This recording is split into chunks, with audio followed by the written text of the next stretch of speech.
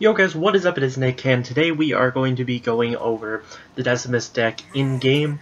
Uh, if you did not check out the uh, previous video going over the complete deck, it's going to be pretty similar to what's on screen now.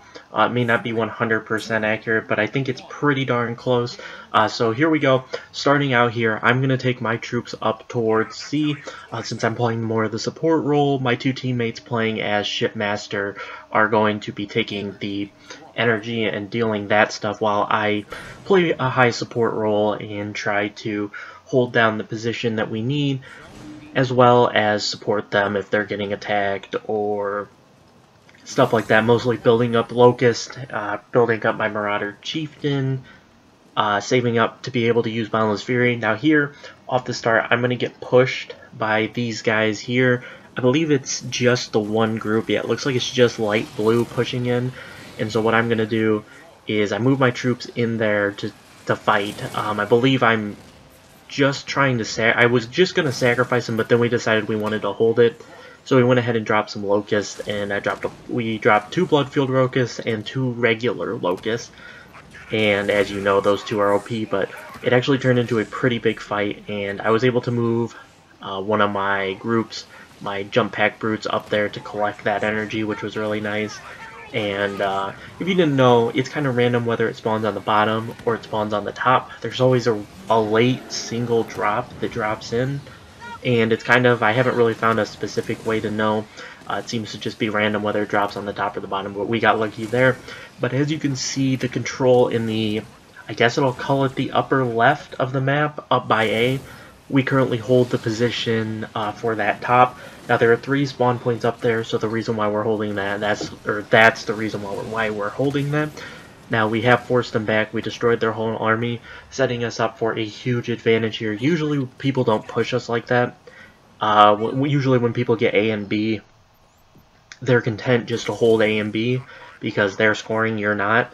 Uh, but because this is what they did, we were I was able to push onto B with this chopper and take control of it and start gaining us points, thus buying us more time.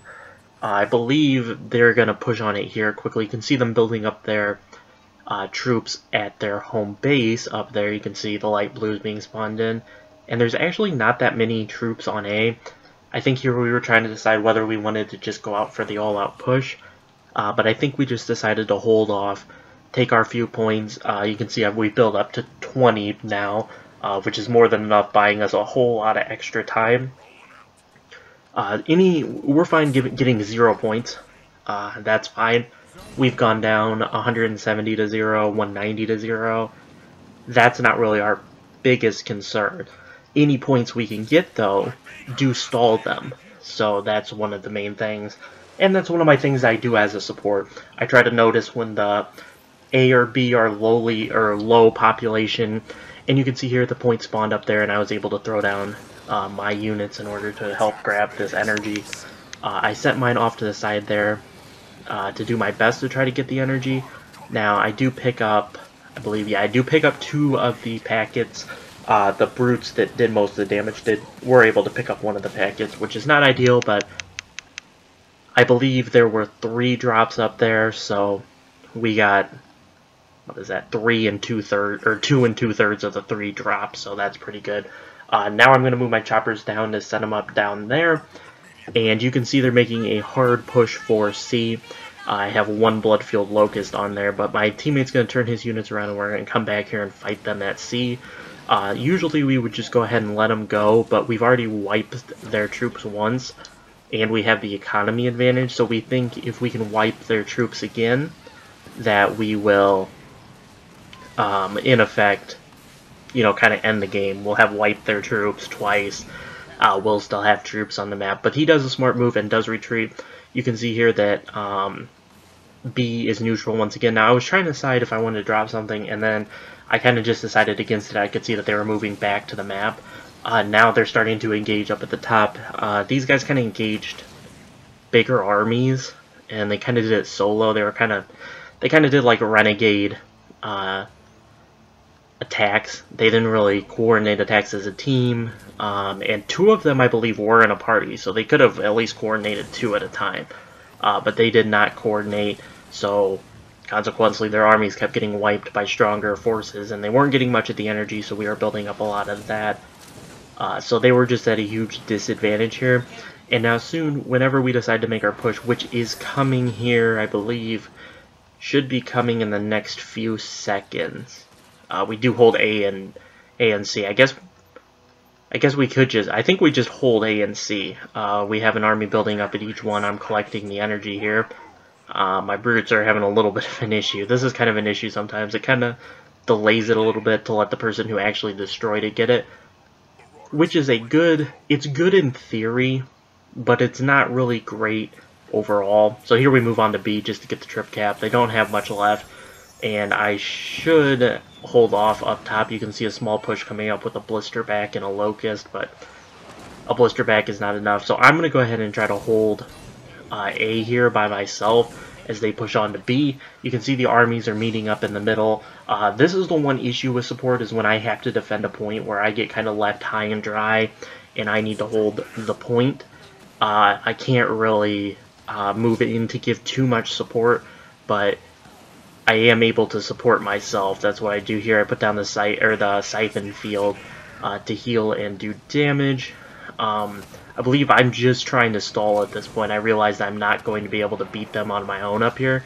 So I go ahead and stall, and I drop down my Marauder War Chieftain to boost at least my Locust up top while I wait for help to come in. As you can see them moving up on the mini-map, and here they come. I think, yeah, here I'm going to boost with the Boundless Fury.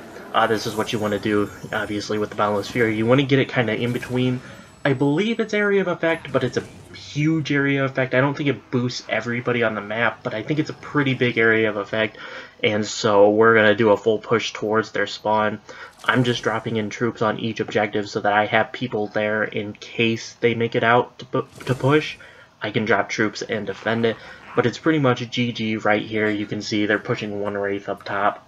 But with pushing that one Wraith, they're pushing it towards where I have a bunch of troops, um, and we do secure the energy there, the energy that they were pushing hard to get. I have enough for another Marauder War Chieftain, as well as a Siphon Field, and I'm just going to go ahead and drop troops in here to collect this energy. I don't know why I dropped a Marauder War Chieftain to grab that energy. That was a little bit of a weird play. Uh, and then the Marauder that I already had there ended up collecting it anyway, but you know, you get the point uh, I was trying to drop to collect the energy. Not that it's too big of a deal at the end of the game, because we're about to win 170 to 171.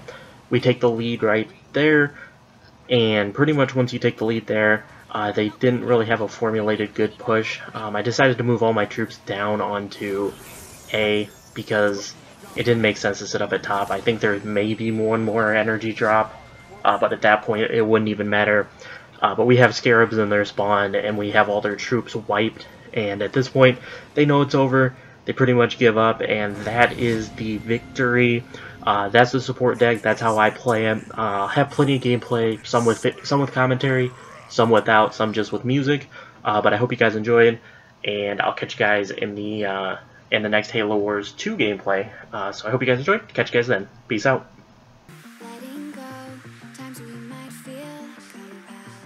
looking down from the heights that we have built all by ourselves.